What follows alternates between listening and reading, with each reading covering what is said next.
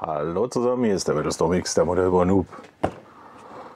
Ich habe mal wieder was Neues.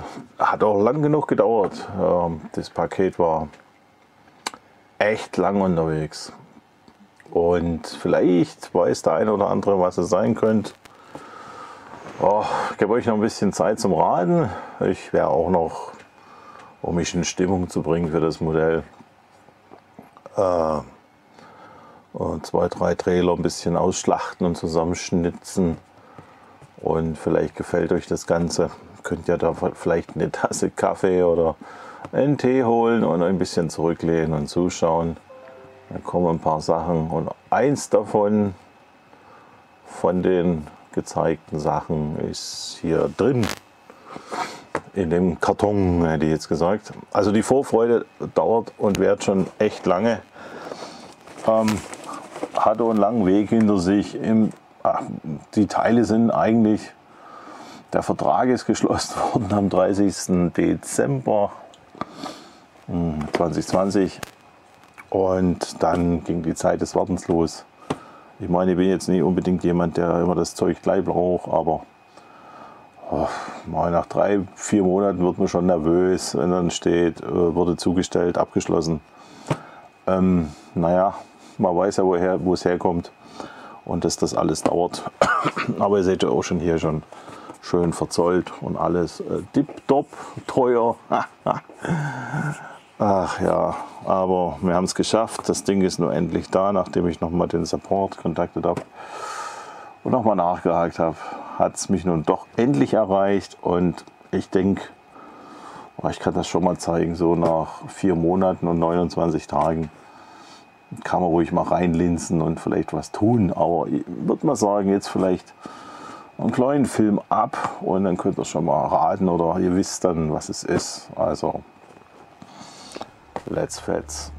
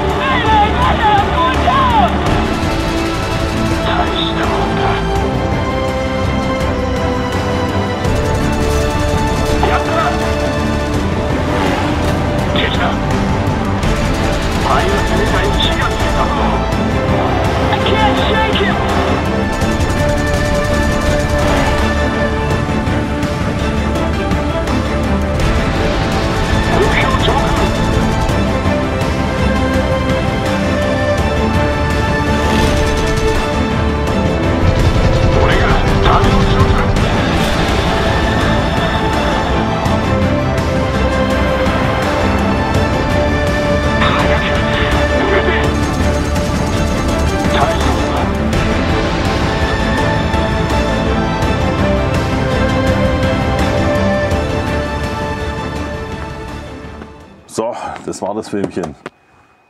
Ähm, der eine oder andere kann sich denken, was es ist. Und die es noch nicht wissen, guck mal jetzt rein. Ich bin gespannt. Ich selber habe noch nicht reingeguckt, aber ja, wir werden sehen. Hier ist noch das Zollband. Das machen wir jetzt mal auf. Na, na, na, na, na, na. Na, na, na. Oh, ich bin selber gespannt, was jetzt in dem Paket alles drin ist. Ich habe auch nicht immer beim Anbieter geschaut. Ich lasse mich genauso überraschen wie ihr. Puff. So, schauen wir mal kurz. Es ist was von Agora Models. Okay, was haben wir denn drin? Ja, Plastika, Plastika, Plastika. Wieso ist das alles italienisch? Oder United? Ach, ich weiß auch nicht. Oh, so, da wisst ihr jetzt, worum es geht. Das geht um die Zero, um die Mitsubishi A6M Zero. Der Jäger oder Fighter, wie man das heute so sagt. Und das sind die ersten fünf, glaube ich, fünf Pakete, die mich jetzt erreicht haben. Ups, was ist das? Selbstlösend. Gut, darunter ist nichts mehr. Ähm, ja, freue mich, dass das Ding das hierher geschafft hat. Und pullen wir gleich mal das erste Pack raus. Kann man ein bisschen raustun. Nein, ist schon so weit wie möglich draußen. Ich habe jetzt auch nicht so viel Platz. Also das wird schon eine große Geschichte. Und ich habe auch Bock drauf, den Karton zu vernichten und zu verarbeiten. Oh, damit er nicht arg viel Platz mehr hier verbraucht. Aber will ja noch mal kurz. Ach du Scheiße, mir fällt gerade auf. Ja, ist da gar kein ähm, Ding dabei. Ja, Bauanleitung. Muss ich meinen Laptop ja nachher zücken und hochfahren, der da hinten rattert. Ach du grüne Neune. Aber gut, das kriegen wir auch noch hin. So, jetzt nochmal zu dem Fighter, zu der Zero. Also ich weiß schon, dass ich genug Modelle habe, aber ähm, mir ging es darum, ich habe Autos, ich habe dies und das und jenes, aber ein Flugzeug habe ich noch nicht. Und deswegen habe ich mich jetzt für den Japaner entschieden. Ein Flugzeug muss dann doch noch her. Was anderes wollte ich jetzt auch nicht weiter. Der ist auch nicht so groß. Der ist in einem Maßstab von 1 zu 18 und eine Breite von 61 cm. Länge von 50. Also das hat hier Platz auf der Modellbaumatte äh, hier. Aha. Wer Platz hat, kann sich das irgendwo hinhängen. Vielleicht verlose ich das. Ich wüsste jetzt nicht, wo ich Platz hätte. Aber mal gucken. Vielleicht findet sich ja noch ein genialer Ort bei mir. Ah, so. Download. jo. Da müssen wir die Bauanleitung noch ein bisschen downloaden, weil ich denke mal, äh, den Propeller, den wollen wir den intuitiv bauen? Lieber nicht. Also ich sichere mal kurz das Poster, bevor es irgendwo den Bach runtergeht. Ja, schafft das Ding noch weg. Werkzeug ist dabei. Äh, Schraubenzieher, den wir auch schon kennen. Egal. Und jetzt gucke ich mal kurz ähm, nach der Bauanleitung. Verdammt, bis gleich. Ha. Überraschung gibt es immer wieder. Ha. Schon interessant. Im Download-Center von Agora Models ist nichts zum Downloaden an Bauanleitung. Vielleicht habe ich auch nicht richtig geschaut oder was. Was mache ich jetzt, so unvorbereitet wie ich bin und ich will trotzdem bauen? Ich schaue von denen einfach mal ein erstes Video an. Ähm, Bauvideo. Ähm, ja, ich lasse mich dann jetzt nie abbringen und guck mal, wie das jetzt läuft. Ist jetzt mal was anderes. Ich werde jetzt mal hier äh, ein bisschen alles Gel, Klebergel. Äh, äh, braucht man scheinbar für viele Bauschritte. Und als Nadel nehme ich mal keinen Dingszahnstocher, sondern ich nehme mal so eine Revell alte, da ist noch Leim drin, egal. Das nehme ich mal zum Dosieren, zum Aufnehmen vom Kleber und zum ja, Verteilen. Mal sehen, wie das funktioniert. Stelle ich mir ganz gut vor. Probiert habe ich es noch nicht. So, jetzt habe ich die Teilebezeichnung nicht. Auf Englisch, auf Deutsch, auf irgendwas. Ich sehe nur das Video. Ähm, wir sollen jetzt das rausnehmen. Ähm, zoom mal ein bisschen ran. Wie gesagt, es geht nur um den Propeller heute. Und das ist Metall. Das ist echt, echtes Metall. Und dann sollen wir eine Pinzette das noch rausnehmen. Genau, fragt mir jetzt nicht, was das ist. Wie das technisch genau heißt. Und dann Schraubenzieher brauchen wir vielleicht noch. So, Video, Video. Diese drei Sachen, Nippel, Pippose, sollen wir jetzt einschmieren mit Kleber. Ja, nehmen wir mal ein bisschen was auf. Ja. könnte, könnte ein bisschen, bisschen mehr vertragen. Äh, heißt, doch nochmal einen Zahnstocher nehmen. Äh. Muss ja auch nicht so viel sein. So. Hui. Hatte hier Boats gemacht. Jetzt muss ich da drüben gucken. Wo muss ich es wie rum? Ah, von oben nach unten. Ah ja. Stop this Records. So. Müssen wir reinzoomen. Oh, ist das chaotisch. Gefällt mir. Mal was anderes. So, und das müssen wir jetzt ohne besondere Ausrichtung einfach einfach treffen. treffen. So. Äh, das, äh. Aha, aha. Nee.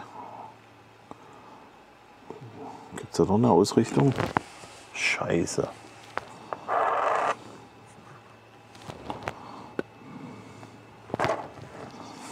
Na, na, na, na.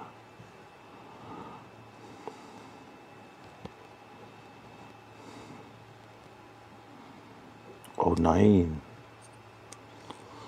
Oh nein, wie peinsam. Ich muss natürlich die inneren Bohrungen nehmen. Ach nee. Guck doch mal richtig dahin. Ja gut, der, der Kleber, der wird verhärten und alles wird gut werden. Da sieht man keinen Meter mehr. Ich denke sowieso, das, was man jetzt hier im Motorparty baut und Propeller, das wird dann alles abgedeckt. Ah, trotzdem ärgerlich. Äh, weiter geht's im Video. Aha, jetzt einen weißen Ring einsetzen. Das kriegen wir hin. So, diesen weißen Ring mit den Zähnen nach oben einfach hier einsetzen. Passt. Jo.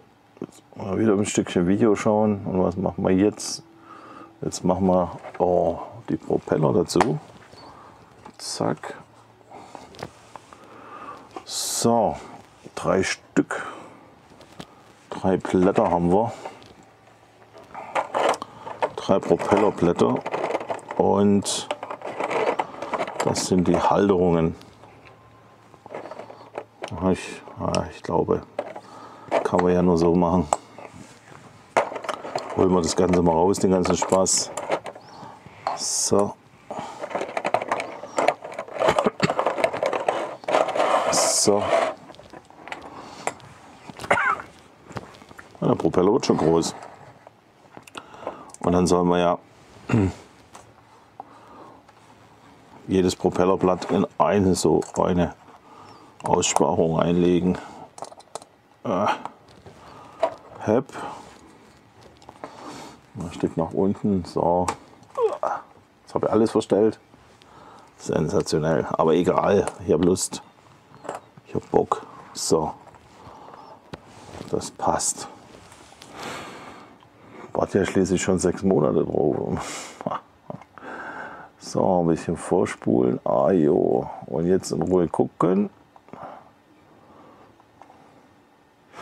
Da, da, da, da, da, Das Ding nur drauf pressen.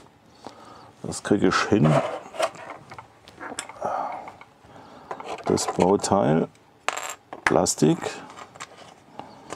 Das tun wir ungeklebt hier drauf. So. Das passt. Ist nichts Schlimmes, ist die erste Baustufe. Nur der Metal macht was falsch. Und jetzt soll man eine Schraube nehmen. Wir haben nur die. Ich denke mal, ohne Markierung und ohne, ähm, na, sag schon, ohne Kennzeichnung, ohne, oh, das sind unterschiedliche. Ha, scheiße. Das sind unterschiedliche Freunde der Sonne.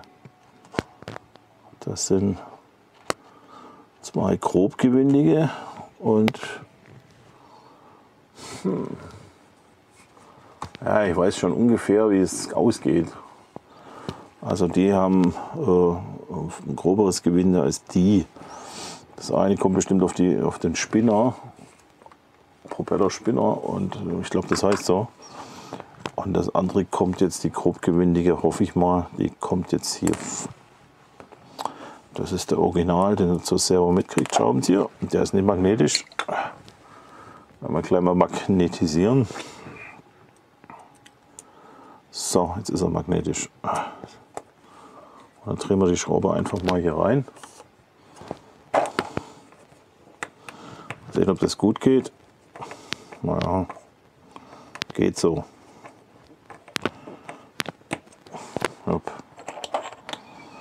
So. Und jetzt stecken wir noch ein Teil drauf. Das ist dieses. Wir mal gucken. Kleben oder stecken? Moment. Na ja, gut mal, so was. Na, wir kleben. Naja. Dann kleben wir mal wieder. So. Wo ist der Kleber? Da ist der Kleber. Mal ein bisschen, bisschen nach, raus nachfüllen. Damit wir jetzt noch ein bisschen mehr Kleber drauf kriegen. Oh, recht viel. Aber diesmal wissen wir, wo es hinkommt. Diesmal geht nichts schief. Hep, hep. So. Und das setzen wir jetzt irgendwie gleich richtig ein. Ich glaube, die Halterung brauche ich nicht mehr. So. Hep.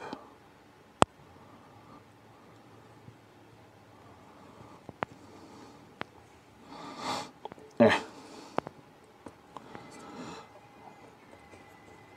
So.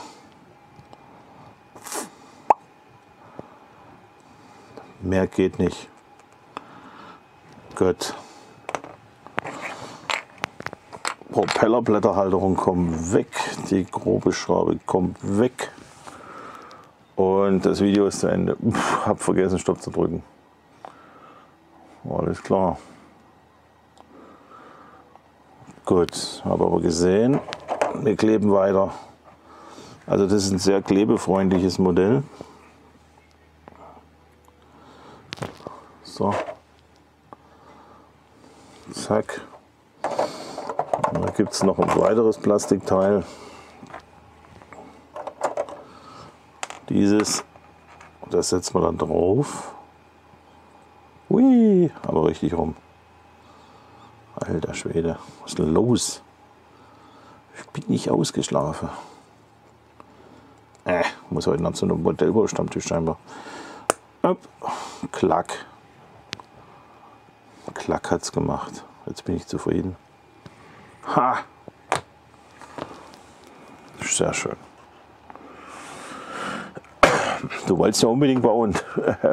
so unvorbereitet wie du bist, ne? Ja, doch, es muss sein, es muss sein. So, und jetzt bringen wir noch den Spinner, die Ding auf. Genau. Und dann, oh, stopp. Stopp. Stoppel die Hopp. Und beim Schneiden und Rendern gucke ich mal, es kann ja nicht sein, dass die, die Bauanleitung irgendwie nicht zum Downloaden haben irgendwie. kann doch nicht Sinn.